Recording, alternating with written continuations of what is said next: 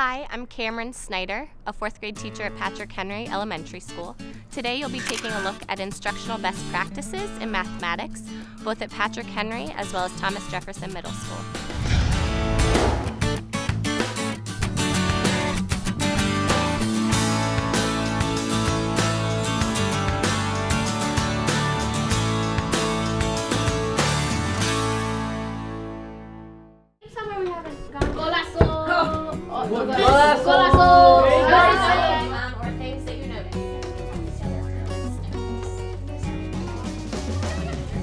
Question.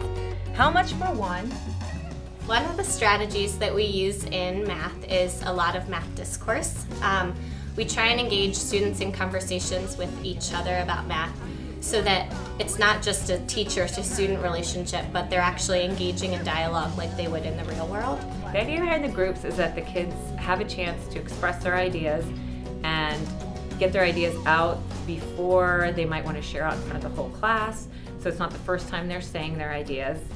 As a teacher, it tells me a lot about their content understanding and their knowledge of the vocabulary. So if they are talking and not using math vocabulary, that lets me know maybe we need to revisit that. It also helps the students because they can hear each other talking and kind of hear it from a different perspective.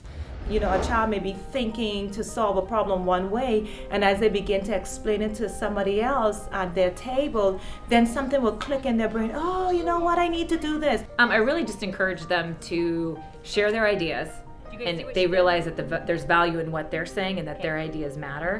That it comes back to kind of creating uh, an overall learner and inquirer just versus a student that sits in the class and takes in information. And there's so much that they have that they don't realize that they have. And by me just asking questions or facilitating um, discussions, then it, it gives them more power. At Patrick Henry, we have a lot of students who are English language learners. So by engaging in a lot of math discourse and using the sentence frames and sentence starters that are up around the room, students are able to develop their language skills, not only for math, but general language skills that can help them throughout life. I think oftentimes in co-teaching situations, um, there's a main teacher and then there's a helper.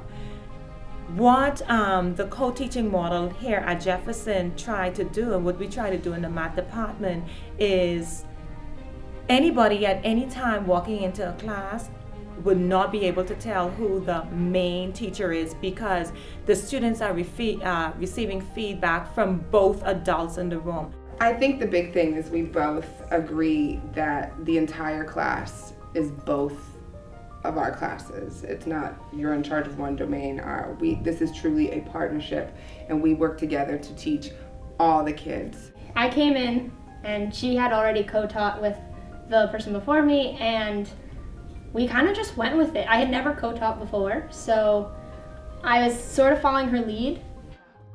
It develops a level of respect for any adult that comes in that room or any adult that is working with the kids. This has been one of the best experiences because Gina is so open to us working together. That's that's the key is working together and the fact that we both know the content and we're both comfortable with it. I think it goes a long way to making this a successful class.